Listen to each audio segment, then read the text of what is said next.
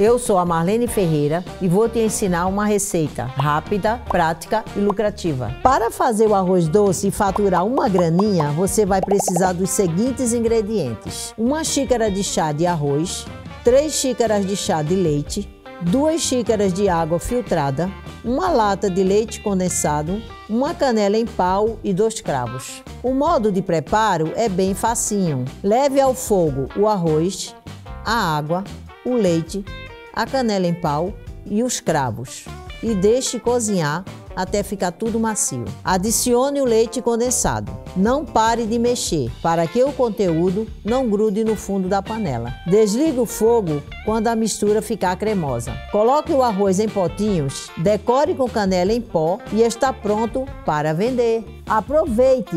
Festa junina é tudo de bom!